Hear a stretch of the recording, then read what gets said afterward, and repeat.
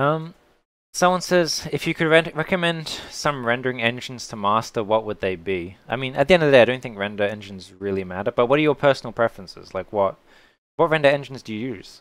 Like in your personal. Well, first, first of all, just use whatever you have. Yeah. Just whatever you have available. Arnold is built in within within Maya, so just use that. You can't really look at a render and tell which engine it was done with, like it. No, not anymore. And if you've got really amazing looking work, someone can tell you know stuff. So you'll be able to just translate those fundamentals into whatever software you use. Every company is going to have their own renderer. Some people, some companies literally build their own renderers, um, but the fundamentals are all the same. Yeah.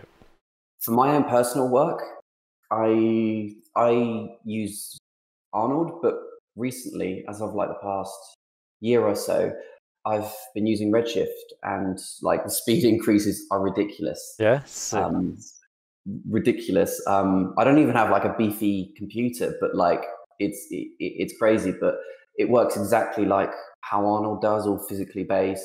Um, yeah, so I've been loving using uh, Redshift. So Mostly, Redshift, I've been loving the, the render times. Redshift in Maya, right? Like you don't use a like Redshift doesn't have a standalone, does it? Not that I know of. I've okay. just been using it within Maya. Yeah, yeah so I've been enough. using Maya and, and Redshift. Yeah. Um, how would you suggest students build connections with industry artists if their institution doesn't have educators with industry experience? LinkedIn. Yeah. LinkedIn.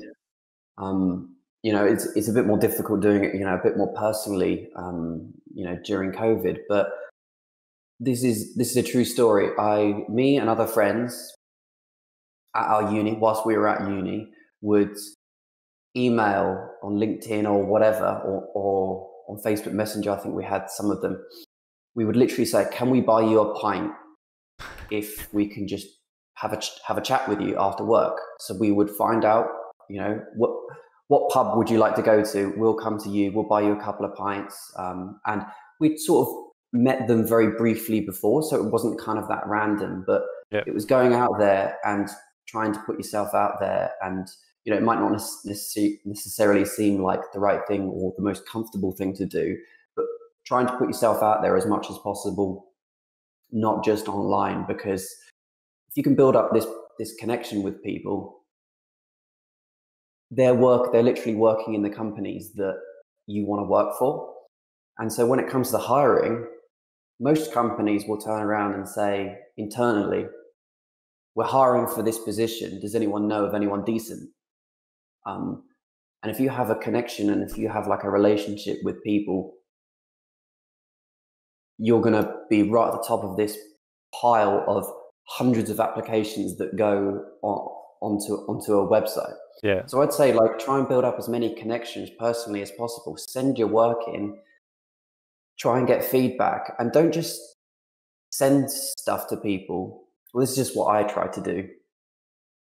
Don't just send your work into people for the sake of just getting it in front of them. If you're asking for feedback and they give you the feedback, the next time you speak to them, do the feedback. You oh, know, oh yeah, that's the most insulting thing. it's like, what's the? You know, otherwise, you're just messaging people for the sake of messaging people, and you know, then if you can keep doing that, you can build up a rapport with people. Um, the rookies is is amazing. Um, the exposure you can get off of that is is great. LinkedIn, um, just generally having a presence online, and trying to get out of this habit of I don't want to show it yet. It's not ready, or it's not good enough um, just generally trying to put yourself out there. You need um, to get um, used to getting like feedback on your work as well. Like you need to be, you need to mentally like prepare yourself to get your work shot down by professionals, because that's how that's how the industry runs. Like we get feedback all the, the time. I mean, there's a thing called dailies, and it's called dailies for a reason. And people aren't turning around and saying your work is so crap. All of this is crap. I hate it. Yeah um, they're going to say, I like this, I don't like this. How about we go in this direction uh, or whatever? You don't have the option at work um, to of say, ignoring the feedback. yeah. Um, and also, you don't have the option to say, Uh, I don't want to. I don't want to show it today. I'm, I'm, feeling shy. You know. Yeah. If you can, you imagine you that? Oh yeah, yeah. You're paying me, but I don't want to show you my work today. Not ready. I don't. Yeah. The artistic, you know, it's. I don't feel it today. You know. Yeah. Jesus. Oh, it's so funny, like the thing you mentioned about like you know messaging people, right? Because like the reason we end up becoming friends is you randomly messaged me like years ago, mm. and here we are. That's so funny. It's weird. Mm. But yeah, I think yeah, I don't. I think it's totally fine with like messaging professionals and like asking for feedback. But yeah, like if you do ask for their feedback, definitely respect it. Like don't. I've had so many people that have asked me for feedback, and then not done it, and then showed me their work again. I'm like, it's the same. And then I'll give them feedback again, and they just won't change it, and it just completely kills your motivation to help this artist. And what makes it even worse is like I'll remember these people. Exactly. Yeah. Exactly. So if you're going to push yourself out there, keep in mind that people will remember you if you stand out in like a negative way as well. Um. Reading through the comments, there's loads of comments. Oh yeah. Where do you see the industry shifting in the process in the coming years? Virtual production, real-time content as yeah. What do you think about the real-time thing? it's amazing. Yeah. It's amazing. I mean, you know, just from what you can see online, some of these,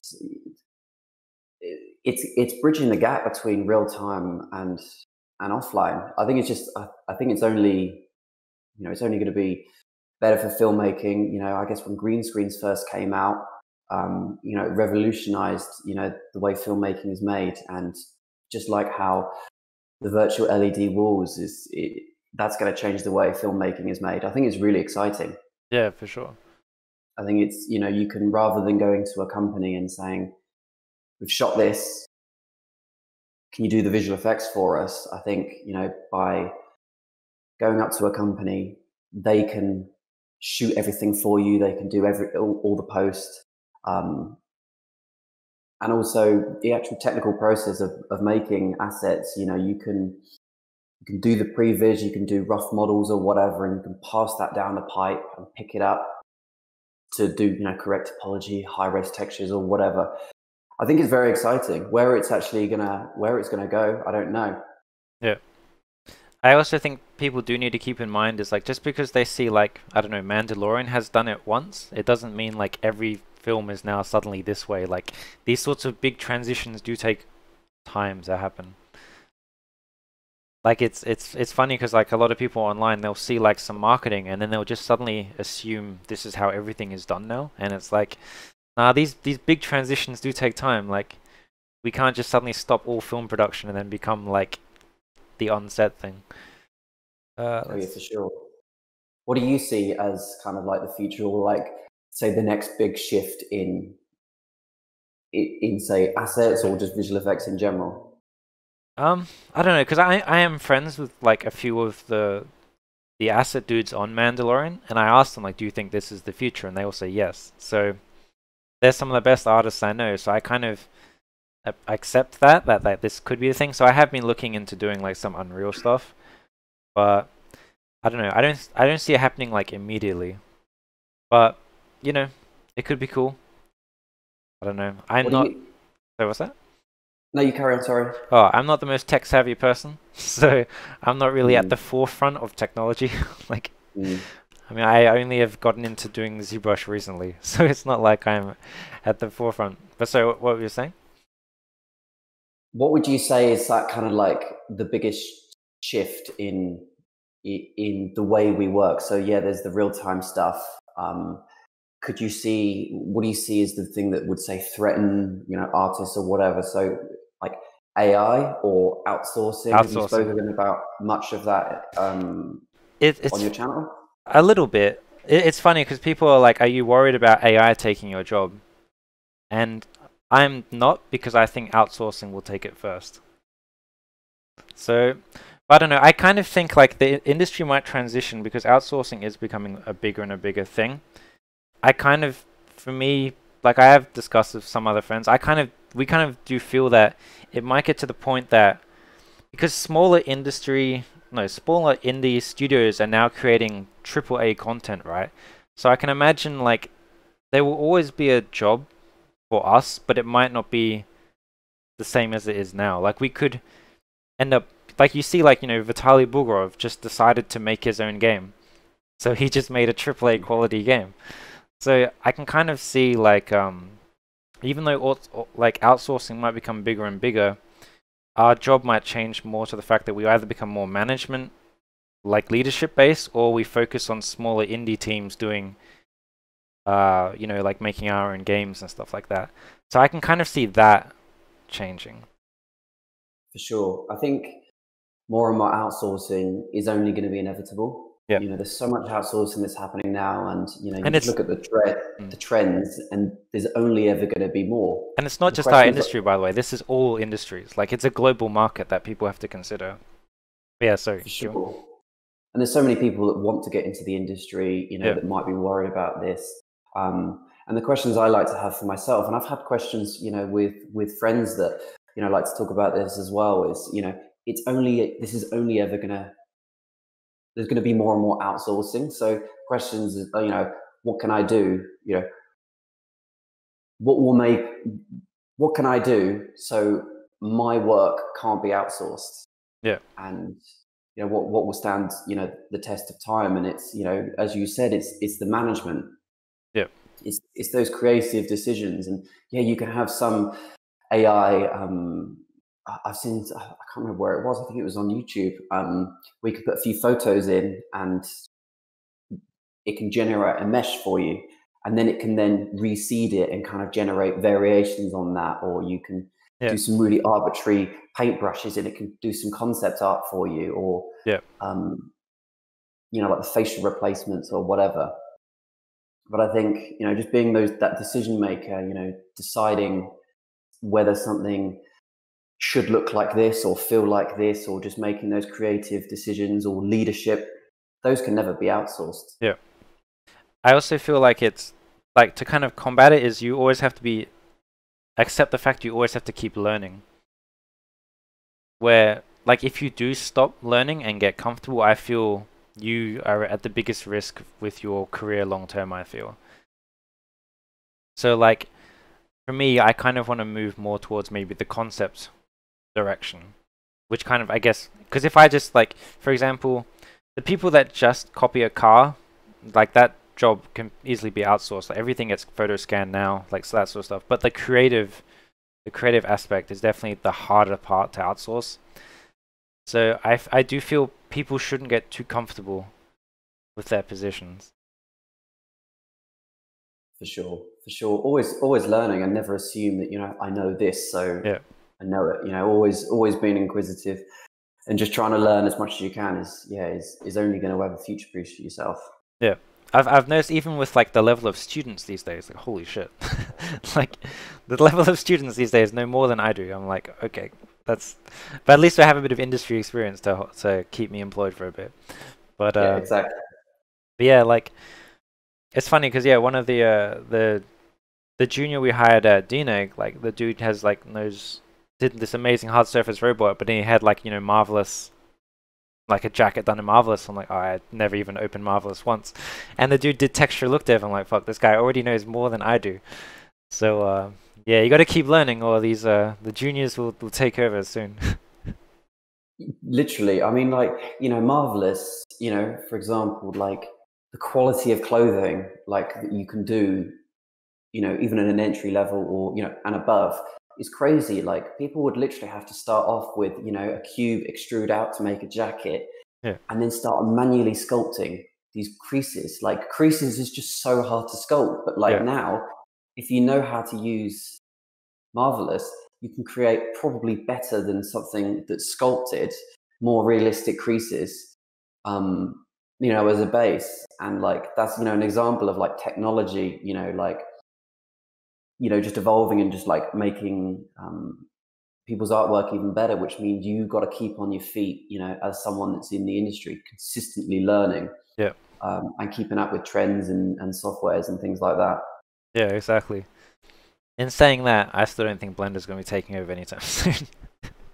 just just to quickly shut that down before that that starts off. Do many people? So what's what's like the ratio of of your audience? Are most people kind of interested in just modeling, just Maya, or just generally like you know asset creation? Um, yeah, most of them I think. Uh, like I do have a like a decent amount of Blender users in the chat as well, but they they understand. Well, hopefully most of them understand that it's all just about asset creation and like skills are super transferable pretty much. But mm. um, but yeah, like a lot of people don't kind of really understand that like swapping a pipeline is hard in like a big established studio. And that's pretty much all it's about. Like it's never about this program is better than this. It's simply like the foundation is set. So to rock that foundation is kind of uh, problematic and loses a lot of money. Yeah, there might be one software that's better, but just because it's better, it doesn't mean yeah, a company is is going to change it. Yeah, exactly. But I can see. I think Blender is amazing for concept. I think if you're a concept artist, it's definitely the tool of choice. It's it is a good software. Their community just needs to chill out a bit. Calm, just calm down a bit. Um, I'm, yeah. I'm not going to lie, and I feel dirty for saying it, but I've thought about maybe opening it up. that that's the thing, right? You you have this weird, you have this this feeling of like guilt for opening the program.